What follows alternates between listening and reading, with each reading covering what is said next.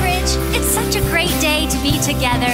If you're here in person, catching us out online, or if you're in the theater, we are so glad to be worshiping together as one church. Will you please stand and let's sing and worship our Creator?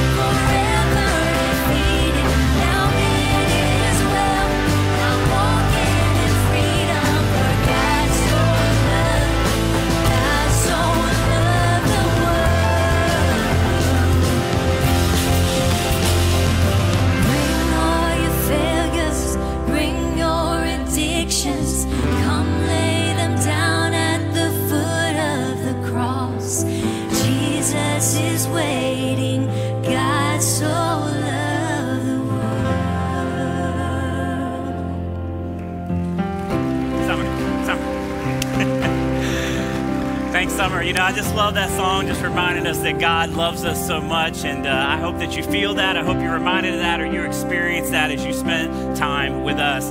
Hey, we got a couple more songs, but I just wanted to pause say, my name's Brian. I'm one of the pastors here at Oak Ridge. We are so glad that you're here with us. I love to see the room filled up each and every week because there's something powerful that happens when we're here together. Amen. Hey, if this is your first time with us, I hope it's the first of many. And if you're back for a second visit, then welcome back. We're glad you decided to come back. You know, we're a church with three venues our auditorium venue, where we are now, which is kind of a concert worship experience. Then off our west lobby, we have our theater venue, which is a smaller room like this with more of a chill worship experience. And then we've got Oak Ridge Online. What's up, Oak Ridge Online? We love you guys. Yeah, let's give it up. So glad that you're joining us through the lens each and every week. Hey, let me know in the comments how long you've made Oak Ridge Online your home. I know our chat host would love to connect with you. We're so grateful for you that we get to be in community together online each and every week. Well, look, we got a couple more songs, like I said, and you know, these next songs are just a continual reminder of God and who He is and how much He loves us. And here's the thing, and that's what we're talking about in this next series is that, you know, the better we understand how much God loves us, the better we'll be. So I hope you'll continue to sing and worship with us.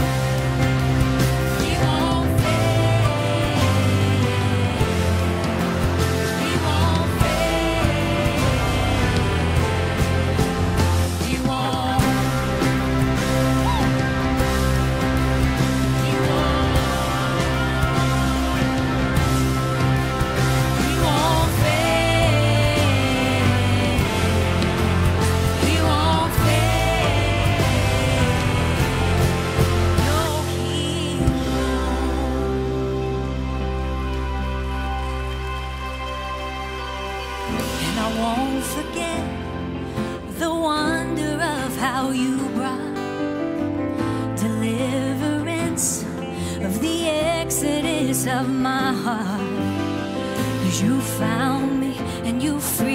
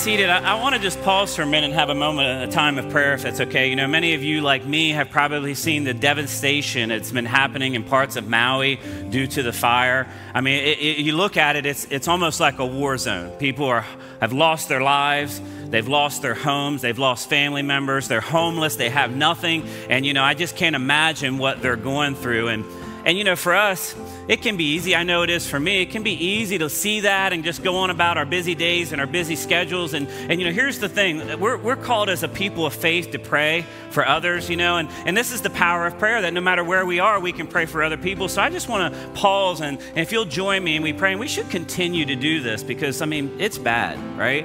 And uh, so we want to continue to pray as well. But let's join in and have a time of prayer together as a church and online. I hope you'll join in with us as well. Lord God, we just come to you, you know, knowing that you know perfectly well what's going on in Maui and the, the parts of the island there that have been devastated by this fire. You're not surprised by it. Lord, we thank you that in your grace and your mercy that, that, that you kept more people safe, that you helped people get out so there wouldn't be even more loss of life. But, but Lord, I just can't imagine what the families are going through that have lost family members, the pain that that is causing for them today that they've lost homes, they've lost everything. I heard of a man that had been in the same place for 40 years. Everything's gone, Lord.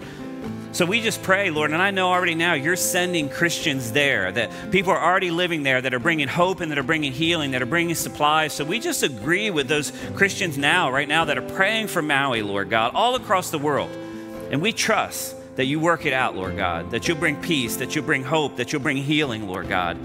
In Jesus' name, amen. Amen. You guys can have a seat. Thank you for us doing that together. You know, that's the power of prayer. That's something that we can do when we feel like, what do I do? Like, we can always do that. We should do that for one another, and we should do that for our other brothers and sisters and people across the world that are hurting.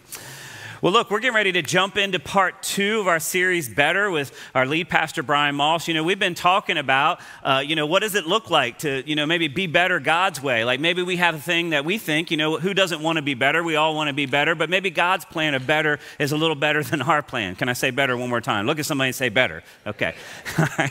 so you want to go ahead and grab your notes. You know, you can grab the, the ones you got when you came in as you walked in here in person, or if, if you're online or you want to follow along your phone, got two easy ways for you to be able to do that. You can text Oak Ridge to 94000 and we'll send a link to your phone right now. Or you can go to the Oak Ridge app because the app is hit the live button and you'll see your message notes there. Hey, look, along with your message notes is your connect card. This is where you can take a next step. Maybe maybe you've been coming and listening to this Jesus thing and been coming to Oak Ridge for a little while and maybe it's your turn to make a step of faith by making Jesus your uh, savior for the very first time. You could check that on there because I could send you some information on what that means. Maybe you're ready to get baptized. You've given your life to Jesus, you haven't done that yet or or maybe you've been coming for a while and and like you're sitting on the sidelines wondering like what can I do? Like what's my next step to get involved? Maybe it's time to find your place to serve. We've got lots of opportunities for you to be able to, to serve and use your gifts here to be part of what God is doing here. But, but make sure you take your next step because your life will never be the same if you do.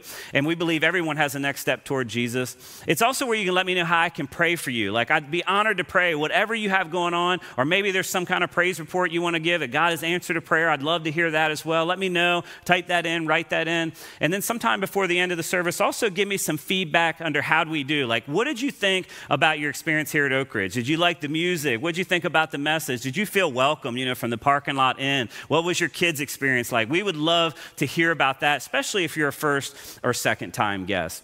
And you'll be able to turn those connect cards in or send those in a little later in the service. Well, look, Brian's about to come out with part two of Better, so let's get ready by watching this video.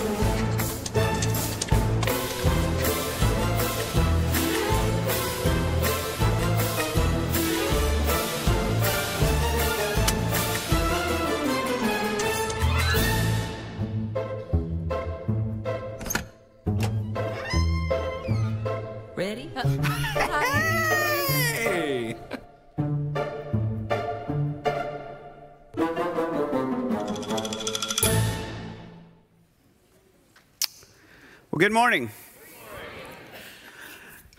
I didn't grow up in a Christian home. I didn't grow up in a family that went to church frequently. And so when I came to know Christ at the age of 14, uh, I was watching an evangelist that was on television and heard him as he described what Jesus Christ did on the cross for us, for me.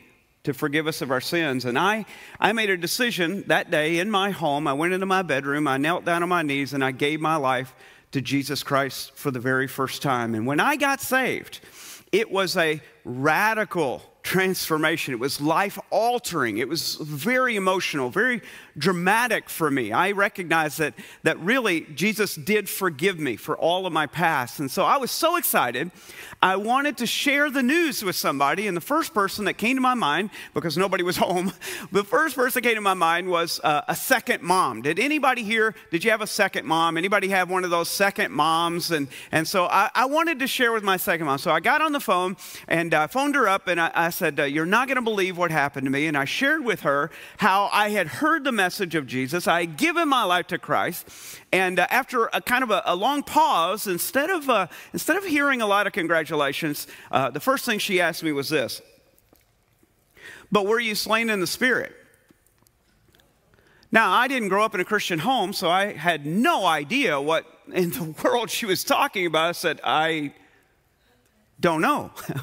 and, so she, she said, Oh, oh, oh, well, uh, and she proceeded to begin to explain to me uh, from her Christian roots uh, what, what she thought would be an actual spiritual experience. And to be honest, by the time I hung up the phone, I had moved from on fire to Christ com- to completely just befuddled, confused, uh, discouraged. I had no idea what she was talking about because I had no idea what the Bible said about any of that. And so I, I just walked away from it completely messed up. And listen, that would begin really my journey of discovering that many of the attacks that we receive in our Christian journey come from insiders not just outsiders. And often we like to look at, you know, the outside world and how they come against Christianity, but the truth is there's an awful lot of things that can be thrown at you during your walk with Christ that can really mess you up in the journey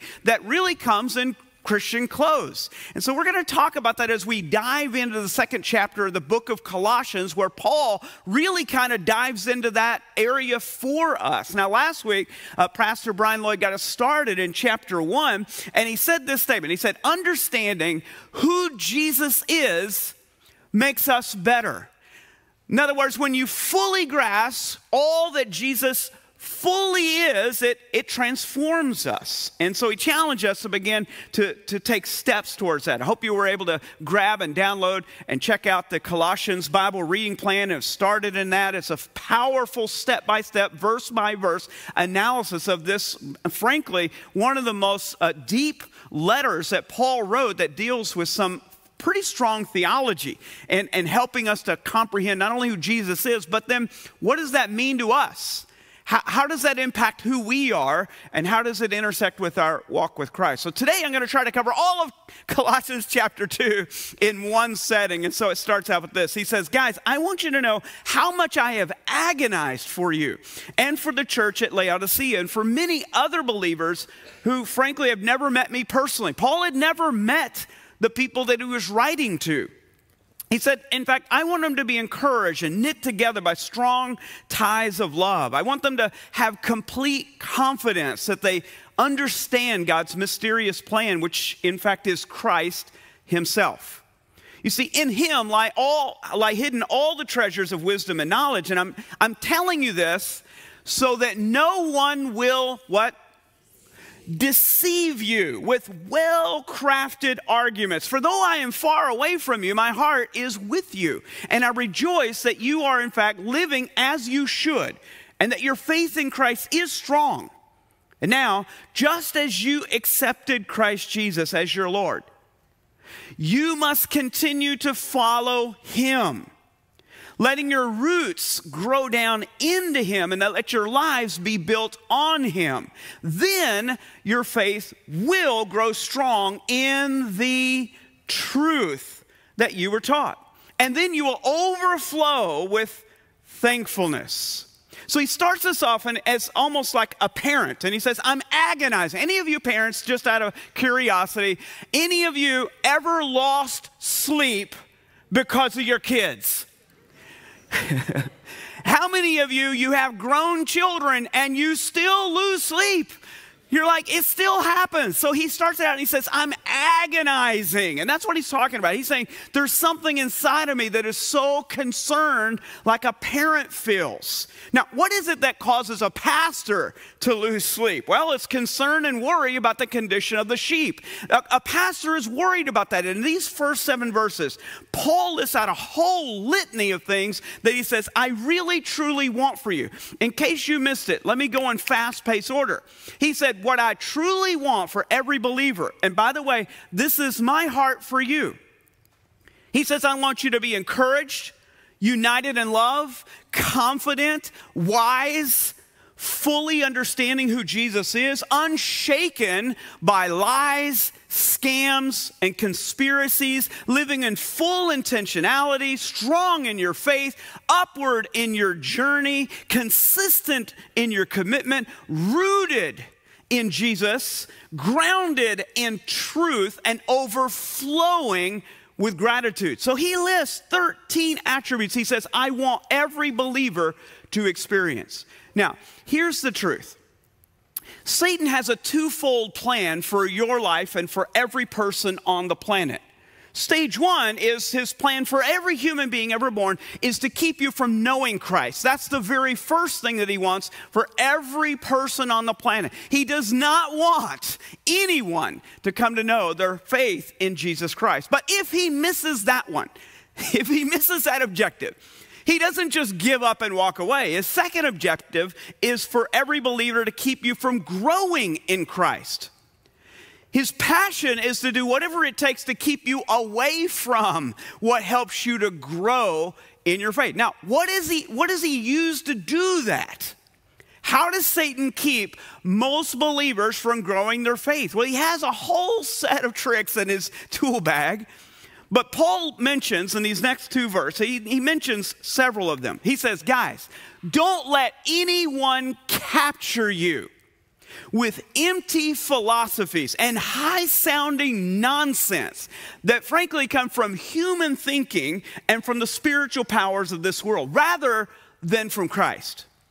For in Christ lives all the fullness of God in a human body. Everything God is, Jesus was.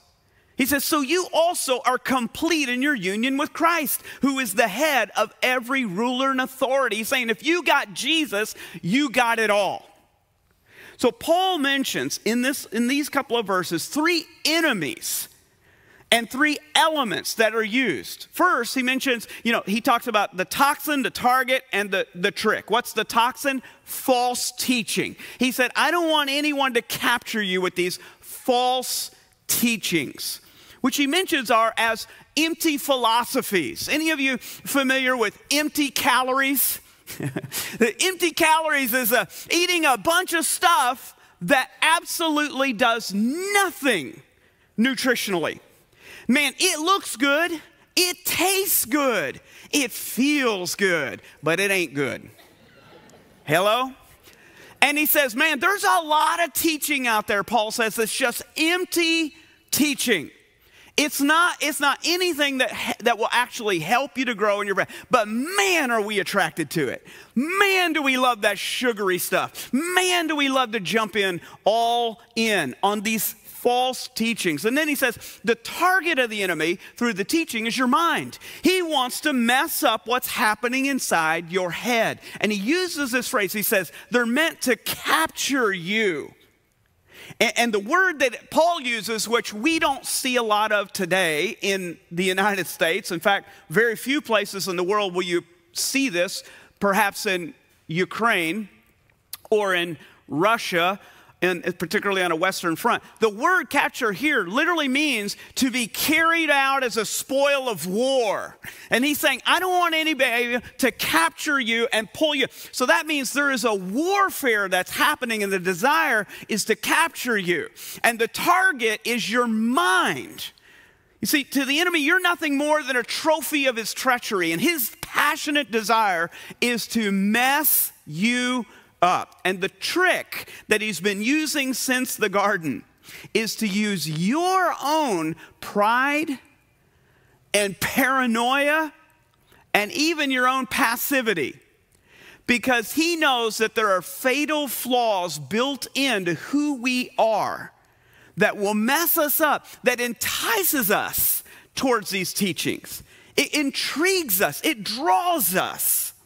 That's why in verse 4 he said, I don't want anyone to deceive you with well crafted arguments. That's exactly what happened to Eve. In the garden, Adam and Eve, what was the lie? The lie wasn't, man, this stuff tastes good. That's not what he said. The lie was, hey, God is holding out on you. There is secret stuff that God doesn't want you to know that will elevate you to a new level of spiritual maturity, growth, and control. If you listen, God's holding out. And that's what false teaching always does. It creates a suspicion inside of your soul to go, wait a minute, it's the stuff the preacher didn't tell me. You can tell any cultist or any false teacher because they always start out like this there's stuff the church didn't want you to know. Tune in and you'll find out juicy secrets that everyone's been holding out on you. It's all this sense. And inside of us, man, we love that stuff. We're like, really? Ooh. How many of us know that during uh, COVID 19 there were one or two uh, uh, conspiracies passing around all over the internet? Just, just a couple, just a couple. I mean, it was like a feast. All we had to do, we had nothing else to do but sit at home and read this garbage, right? So we were constantly like, I don't know anymore. Most people just got so confused, they just got despondent, and it messed us up emotionally. Would you agree with that? It messed us up. I can't wait for the emails after this message, people. Are, but no, it's really true, Pastor Brown. There were microchips and all them vaccines and da da da da. I mean, you can, by the way, save yourself the time, okay? Here's what he says He says, I'm shocked, I'm shocked that you're turning away so soon from God who called you to himself through the loving mercy of Christ. In fact, now you're following a different way that pretends to be good news, the gospel, but it's really not the gospel at all. How? Because you're being fooled by those who deliberately twist the truth concerning Christ. So he's saying there are people in the church who just get off on this idea of messing with your mind. You see, dear friend, you may not realize it, but one of the greatest dangers to your spiritual health is not some evil deed, but an evil doctrine. And I've seen Christians over the decades that have been completely taken out of church, completely taken away from following Christ because of some idiotic, toxic teaching. And they bit into it and it poisoned their soul. So I want to talk about three toxic teachings that Paul lists in this passage that will absolutely tank your faith, and it's been working for 2,000 years. You know, uh, just in the last year, over 87,000 Americans died due to poisoning. And I think almost as many Christians succumb to poison doctrines. So, what are these three? Wow. In fact, do you feel enlightened? Thank you, Lord. All three, everybody online, everything's going, what's he talking about? Okay. All three toxins have this in common Jesus is not enough. So, all three of these and every false teaching and cult is built on twisting who Jesus is and what Jesus did. So, what are the three that Paul lists? First is Jesus plus rules, which is legalism. When you add a rule set, you're like, oh, Jesus, yeah, but let's add some stuff to that, some rules. Look what he said, verse 16 17 he says, Don't let anyone condemn you for what you eat or what you drink or for not celebrating certain holy days or new moon ceremonies or Sabbaths. For these what? Rules are only shadows of the reality yet to come. And Christ himself is the reality. When, uh, when Lisa and I met, we met in a phenomenal church, powerful evangelistic church. It was, a, it was a, a amazing evangelism. I mean, so many people were saved through that church. But there was also a subsection of that church. It was extremely clear that there was a group of people who were kind of in their own sect. What it had to do with was a guy by the name of Bill Gothard. Bill Gothard was a Bible teacher who would come through Tulsa, Oklahoma once a year, rent the Civic Center, and tens of thousands of Christians. In case you, in case you don't know, now Bible Belt, everybody would know Gothard the moment I say it. Over here on the East Coast, I go, huh? And so uh, Bill Gothard was basically, uh, if, you, if you've ever heard of the Duggars, you ever heard of the Duggars? Yeah, so that's that same connection, that same kind of mentality. So he would come through, and every year, tens of thousands of Christians from Tulsa they would pack this arena for days. I mean, he would go five, six, seven days every night, three hours teaching, teaching, teaching, teaching. And here's what I saw. Now, there was a lot of you go, huh, that's interesting. There was a lot of stuff you go, well, that, mm, I don't know, maybe. Lots of stories woven in. But, but then every once in a while in the story, you would hear something you kind of go, ah, I don't know. And woven into the narrative was tons of rules. Now, some of the rules include things like there's certain clothes you can and cannot wear. There's, there's, there's certain ways and times that you can and cannot have sex. There are certain birth control measures you can and cannot do. And by the way, it would be given in graphic detail of the things that you can't do. Well, I remember one night he went on for one hour describing the kinds of musical notes which were satanic and musical notes which were from heaven. There were ways that you could use a microphone that were godly and a way that a microphone could be used that was ungodly. It got bizarre where you kind of go, wow. But the worst of it was the number of people within our church that began to re- go, they regressed in their Christianity back to a point of truly believing that they must atone for their own sin and this unbelievable sense of, man, yeah, Christ gave me a, a hall pass, but I got to go fix all the rest of my past. The result was a joyless Christianity filled with rules and regulations that immediately create a watchful eye between believers of who's doing it right and who is doing it wrong. You see, legalism is a rules based spirituality. It's very clear that what the rules are, and if you're not following them, you must not love God as much as we do. Legalism, legalism is the very essence of every religion on the entire planet except Christianity. I love what A.W. Tozer wrote. He said, It was, remember, folks, it was religion that put Jesus on the cross. Paul mentions two rules in this passage that the infiltrators were promoting, specifically diets and days. Diets and days. So he says, he says it's it, it, that there are certain things that you have to eat, and they're saying if you don't, if you eat this or you don't eat that. And, and, and listen, guys, Jesus dropped the mic in his ministry when in public he said in front of the Pharisees, Guys, it is not what goes into the body that defiles you. You're defiled by what comes out of your heart. Now, listen, that might not be a big thing for you and I, but in the middle of a bunch of Orthodox Jews, you just told them that all of their kosher laws is nonsense. They probably should have stoned him right then and killed him. Because he's basically saying the righteousness that you've worked so hard, it doesn't count for anything. It's about a heart issue. Food isn't the problem with your purity.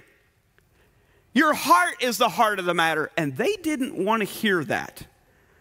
Second, he dealt with certain days. You know, Paul said that, that you have to observe these days and new moons, and certain days are holy and other days. And, and, and, Paul says, no. In fact, he deals with this, uh, this mindset in Romans just as he does here. He says, guys, in the same way, there are people who think that one day is more holy than another day, while others think that every day is just alike.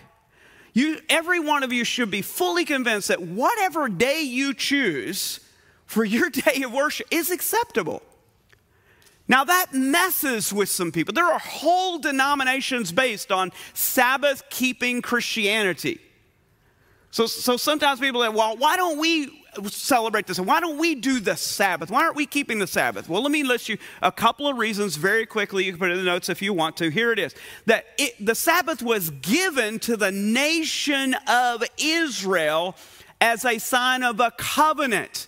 It's called the Old Covenant.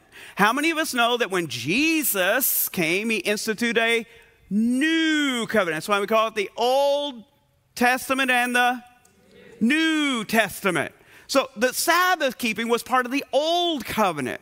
Second, because when Gentiles first started getting saved, they had to have a council in Jerusalem with the top leaders, and they said, wait a minute, stop everything. We didn't know that Gentiles could be saved in the first place, but since they are, they better follow the rules. And in, in, in, Acts, they, they formed a council. In Acts 15, they said, Well, let's talk about it. And the council met together and said, No, they don't need to follow the rules. Just tell them, don't eat food that was given to an idol, don't eat blood, and don't commit sexual sin. But everything else, you're fine because Jesus is enough. So he, he had the moment to tell them, you know, and by the way, be sure you keep the Sabbath. But we didn't do that.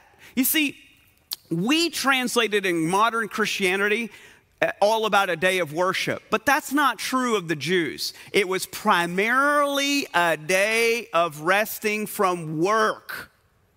Primarily, it was a ceasing of your work, not just when to worship. Now, did they worship? Yes, but it was primarily the Sabbath. The word itself means to rest. So, so listen, Jewish Christians chose to worship on the Sunday and move it to that day because they were celebrating the resurrection of Jesus Christ. So it was completely different. So we don't celebrate the, the, Sabbath in the same way as a Jew. That was a part of the old covenant. Now, in fact, Paul said it this way He said, All of these rules were just shadows of a reality yet to come. Now, that word shadow means that it was looking forward to the future, that God in the Old Testament was giving us specific things that would point us as markers so we would clearly know. So, for example, when the Passover occurred and they had to take a lamb and they spread the blood over the lintel of the doorposts and, and made the sign of the cross so that the angel of death would pass over, it was a foreshadowing that Jesus would be the perfect Lamb of God sent for the forgiveness of our sins. So that when it was no mistake that when the Holy Spirit fell on the day of Pentecost, 50 days after Passover, was literally the day of first fruits. First fruits was when you were going to celebrate your harvest, and before you, you reap all of the harvest, you would cut off just the corners and bring them as a celebration, this offering to God, and say, God, because of the great harvest you are about to give us, we offer back to you thanks for all that you are bringing to us. It was a sign because 3,000 people were brought to faith in Christ on that very first Pentecost day, but it was just a sign of the harvest that was ahead. And even the Sabbath, when it was given, the Sabbath was a time when they rested from all of their works. And yet, Jesus, Hebrews tells us, is that final rest because now his work is finished on the cross. And there's nothing you can add to that. So, none of your works will achieve what Jesus has already done. Get it? Some of you are going, it's getting heavy up in here. He says in Romans chapter 10, he says, Brothers and sisters, the longing of my heart and my prayer to God is for the people of Israel to be saved. So Paul is saying, Listen, I deeply desire for these passionate legalists to come to know Christ. You see, I know what enthusiasm they have for God, but it is misdirected zeal. For they don't understand God's way of making people right with Himself refusing to accept God's way. They cling to their own way of getting right with God. How? By trying to keep the law. They're still trying to follow the rules to make it into heaven. But Paul is clearly saying listen, true righteousness is something to be received, not achieved. True righteousness is something that you can only receive, not something that you can achieve. Jesus plus some rules equals legalism. The second toxin that he deals with is Jesus plus knowledge, is mysticism. And he deals, secondly, with this idea of mysticism. Verse 18 and 19 says, Don't let anyone condemn you by insisting on pious self denial or worship of angels, saying they had these visions about things. Their sinful minds have made them proud, and believe me, they're not connected to Christ, who's the head of the body. For he holds the whole body together with its joints and ligaments, and it grows as God nourishes it. I remember as an engineer, I was working at one of the sites that we were sent to, and I started talking to this other guy. I discovered he was a Christian too, and I was like, man, this is awesome. Now I know another believer here at work, and we can really have fellowship and talk. And uh, he started talking to me, and he said, hey, let me know. He says, uh, he says, since you became a Christian, have you received the second baptism of the Holy Ghost? I said, absolutely, because I, all of Jesus means all of God. He says, no, no, no, no. No, no, no, no. Have you received the baptism of the Holy Ghost as is evidenced by the speaking of other languages and tongues, inspired by the Holy Spirit? Have you done that? I said, well, no. Oh, brother, brother, brother. Let me explain it to you like this. You see, you and I, we both have insurance. And when you come to Christ, you, you, you, get, the, you get liability. You're safe from hell. But when you get the baptism of the Holy Ghost, some reason when it's super spiritualist ghost, he's not spirit anymore. You got the Holy Ghost by the evidence of speaking in tongues. When you get that, you got full coverage. Now you got the next package. You're at the next level. And that, dear friend, is mysticism in a nutshell. It's pretending that somehow there's some revelation that is beyond that will make you more spiritual. And that's what mysticism fundamentally is. It's a revelation based spirituality. Mysticism overemphasizes the spiritual realm pointing towards supernatural secrets and wonders and signs and, and measures your level of spiritual maturity based on goosebumps. Like the greater the goosebumps, the bigger you have in your spiritual depth and your spiritual walk. Now, there's nothing new under the sun. I'm writing right now a, a, church history overview course that'll add on to the Bible overview course. And there's a guy, this stuff started very early in Christianity. There's a guy by the main, name of Montanus. He was already in the early second century, he began having these manifestations. And then he would begin having prophecies. And he would begin teaching everyone in his congregation that, that they had to speak in tongues, that it was a two tier Christianity. It was, every marker he had. In fact, he began also to move into end times. It seemed like all of his teaching always focused on end times theology and all the signs and, and all the things that were going to happen in end times and preparing his believers for the end times. And eventually, he was excommunicated from the church. Eventually, he just crossed a line where the church leader said, You just cannot keep going there because he kept predicting things that didn't happen, by the way. In the Old Testament, the, the standard of that is if, if a prophet prophesies in the name of the Lord and it doesn't come true, you kill him. Pretty simple test, right? So we should probably be a little more careful before we drop those bombs out there. And, and so this is not new to Christianity, this idea of two tier Christianity. In fact, there's two dangers we fall into with mystical Christianity. Here's the first one we develop experience junkies. We develop experience junkies. People who literally become addicted to the emotional or the visceral. Now, listen to me very carefully. What this produces inside of you, dear, dear Christian, it produces inside of you this sense that you're looking for Jesus, but he's somewhere out there. This past February, a revival broke out on the campus of Asbury. With, within just two days, over 50,000 people descended on a little town not even capable of supporting more than 5,000 people, descended on this town in the droves. looking for the outpouring of the Holy Spirit, desperately hoping that they would catch part of the wave. Now, now, now listen. Some of you asked me, well, Pastor Brian, was it real? I don't know, but here's what I do know. Can I tell you two things I know without a shadow of a doubt? If you treat the Holy Spirit like a hit of heroin, you'll always be looking for that next high. That's not how the Holy Spirit is described in the New Testament. And second, it develops a sense that you'll always feel like God isn't really with me. I got to go find him somewhere else. I'm constantly seeking an experience because once the feelings fade, so does my faith. Second danger is it creates a cult of charisma. A cult of charisma. Paul says, Look, guys, I don't think I'm in any way less important than those super apostles. People like that, he says, are just false apostles. They work hard to trick other people, they only pretend to be apostles. So, Paul, even in his day, is dealing with people who are showing up being charismatic celebrity Christians.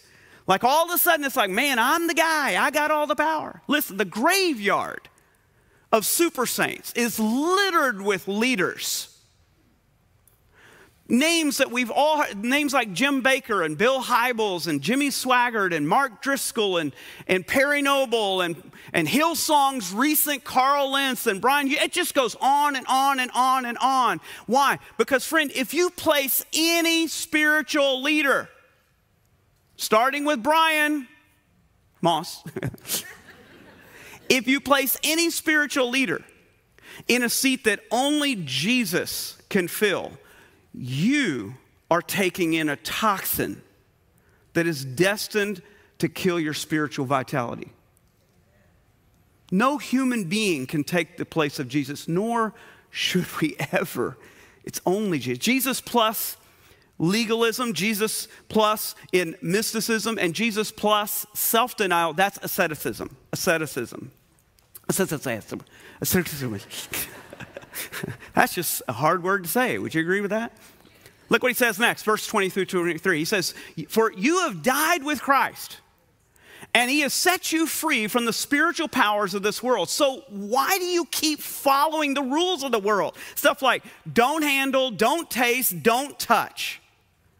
Such rules are human teachings about things that deteriorate as we use them. These rules may seem wise because they require strong devotion, pious self denial, severe bodily discipline. But in the end, they provide no help in conquering a person's evil desire. See, asceticism is restraint based salvation and spiritual vitality. In other words, it thinks that somehow I'm going to become more spiritual by what I deny myself. In fact, it's reverse legalism. It's rules of denial, stuff that it's not about your deeds, the stuff you do, it's about the denial, the stuff you choose not to do. So for the ascetic, it boils down to don't, don't, don't. you can't do that. No sex, no alcohol, no worldly pleasure. That's how the monks, that's how the whole monastic movement was born. The whole monastic movement was born on people who said the only way to get closer to God and, and to Jesus is to get away from the world because pleasure, bad, misery, good. And that was the idea that somehow that I had to become really miserable. And the more I put away from myself, it was the old school hardline Baptists used to say, don't drink, don't chew, and don't go with girls who do. It was all about the stuff you just don't do, right? You cut it out and somehow that's what, you know, when I came to Oak Ridge, they had a, a safe in the floor in the old building. And in that safe, there was actually a, a, their charter from 1962 when they started the church. There was a charter, and on the very first page, the very first statement and requirement of membership was temperance. No alcohol ever on your lips. That was the very first, you couldn't be a member of the church. Most of you are now disqualified. You're like, I'm out, right? but that became elevated to this level. So, and that's actually what this idea is. Asceticism does that. Now, some people say, well, isn't it a good thing to kind of like, you know, what about fasting? I mean, that's like denying yourself. But asceticism goes beyond. It's another form of trying to purify the soul by punishing the body. Jesus said it this way in Matthew 22. He said, In the same way, on the outside, they appear very righteous, but inside, they're filled with hypocrisy and wickedness. In other words, that stuff doesn't make you pure. So, Paul is trying to warn the believers in Colossae don't follow these toxic teachings. He said, Well, then, Pastor Ron, why do so many Christians fall into these traps? Let me just tell you three reasons why. Because legalism, we like a scorecard. You know why the Bible app has been so popular? Because you like a scorecard. It's built into your human nature. I did it, I did it, I did it, I did it. Check, check, check, check, check. It's just built into who we are. We like that. So we like to, but here's the problem I can't measure my maturity by a scorecard. You can do all the checks and still be spiritually bankrupt. For, for mysticism, here's why we like mysticism it's an easy pass. Friend, I wish I could tell you there was a quick dose of Holy Ghost that could make you all that you ever needed to be, and you didn't have to struggle with sin nature ever again. Wouldn't that be great? The problem is, it's not true. Now, we wish it was true, it's just not true. In fact, it's not even biblical. And then with asceticism, it's because you and I naturally don't feel worthy. And there's something inside of us that keeps saying, it can't be this easy. Surely, what all that Jesus did for me, I know I'm not worthy of that. And so we fall into the rut of trying to earn it. So, boiling all this down, what does it all relate to? Hosea said it best. God said, My people are destroyed from a lack of knowledge. And here's what I know, and I've learned as a pastor the most vulnerable are always the least knowledgeable. The less you know of God's word, the more vulnerable you are. And Paul boils it all down and says, guys, Christ is the better way. Christ alone, not legalism, not mysticism, not asceticism. It is Christ. That's why he comes back to their faith. And he says, When you came to Christ, you were circumcised, but not physical procedure. Christ performed a spiritual circumcision, the cutting away of our sinful nature, for you were buried with Christ when you were baptized. And with him you were raised to partial life. Is that what it says? To new life because you trusted in the mighty power of God who raised Christ from the dead. You see, you were dead because of your sins and because of your sinful nature that was not yet cut away. But God made you alive with Christ, for he forgave all of our sins. He canceled the record of the charges against us and took it away by nailing it to the cross. And in this way, he disarmed all of the spiritual rulers and authorities and he shamed them publicly by his victory on the cross. Friend, only a fool would try to add to and improve the finished work of Jesus Christ. That's why it's truly Jesus. You know, the Protestant reformers woke up in the 16th century and the church had become so corrupted with rules and regulations and what you could do and what you couldn't do and, and all the th- and paying for your sin. It was so corrupt that they finally said, enough. And they found that they had to replace relationship. They had to say, no more rules. We need a relationship with Jesus Christ. They replaced faith with their feelings, Christ with the cardinals, the truth with their traditions, and the joy of following Jesus with a judgmental spirit of sin I can't get rid of. And so they said in that Protestant Reformation five statements that we are saved, sanctified, strengthened, and sustained by grace alone through faith alone, in Christ alone, revealed through his scripture alone, and for the glory of God alone. That was the cry of the Protestant Reformation. And by the way, that's what birthed this church and every other Protestant church. So let me ask you this as we close. If you're a believer in Jesus Christ, how's your joy factor? Or have you slipped into the subtle system of following the rules or seeking some experience or knowledge or secret? It's key to Christianity. Or maybe you came out of a religious background that is ingrained in your brain this idea that you're not worthy and you got to do more and it's not enough just to have Jesus. You better follow the rules. Stuff you can't do, stuff you can do. You better base your faith on rules. So, how's your joy factor? Let's pray. Father, thank you that you gave us your word that is so clear and helps us to bring us back to the centrality that not only is Christ supreme over all, he is enough. That Christ is the better way. That what he accomplished for us paid everything, that we cannot add to that.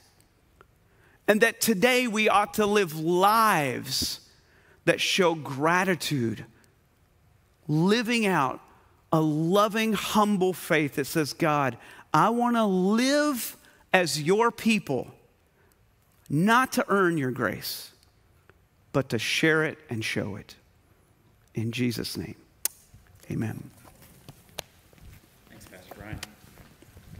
It's funny how we make things harder than it needs to be sometimes. You know, I know I do. My diet, relationships, you know, we always make things harder. And I think that's the same thing that was happening then and can happen in our faith. I'm so glad Pastor Brian helped clear that up for us and help center us because Jesus is a better way. We don't need to add things to Jesus, He's already taken care of everything. So I want to give you a couple action steps to help you continue the conversation on for you and your family or, your, you know, whoever you're doing this life thing, Jesus thing with together. Maybe it's just you. And, and I want to give you some things, the resources that can help you do that. The first, as Pastor Brian says, is the Colossians reading plan. You know, again, we want to continue. This lifelong journey is learning more about Jesus, having a better understanding so that we can be more like him and push away all these other things that are not like him. So check out this Colossians reading plan. It's so great. It's simple, a few verses each day, and then some thoughts to think about. If you're new to the Bible, man, this is going to be so great for you. It's really going to just make the Bible come alive. And again, if you've been doing it like me for a while, it's still very, very rich. So let's do this together. The second thing is take second base. Second base is part of our growth track.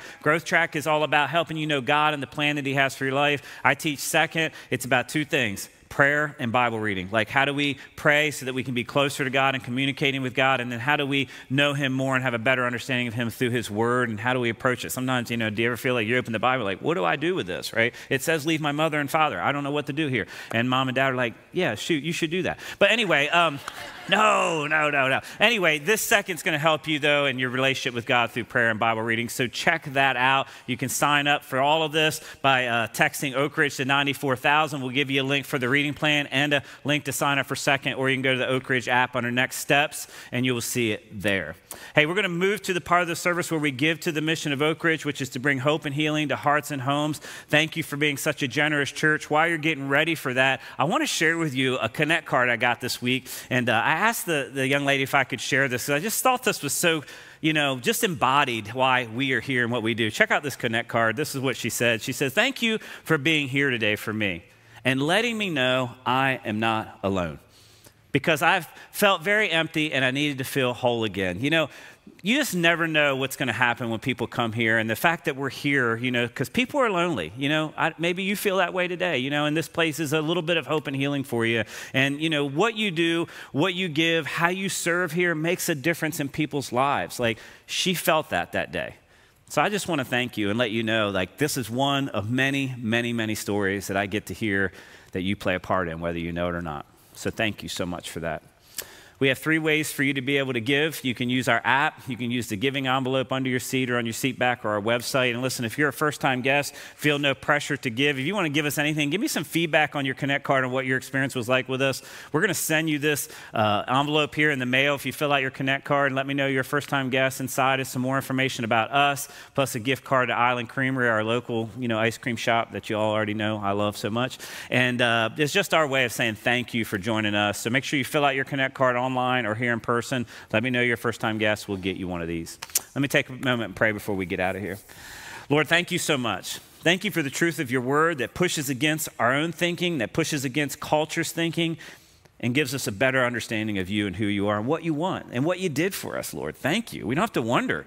And I pray that, Lord, as we hear all this information, Lord, that we'll take some steps to apply it in our lives, that we'll look at the Colossians reading plan, that we'll take second base to kind of just bring this all down to where we live and applicable to our lives. Help us with that, Lord God. Follow through with that. And Lord, for those that are given online or in person, thank you so much for their generosity. I hope you bless and keep them. And for that person that's given for the very first time, what a huge step of faith. Would you give them the peace that passes all understanding, as your scripture says? In Jesus' name, amen.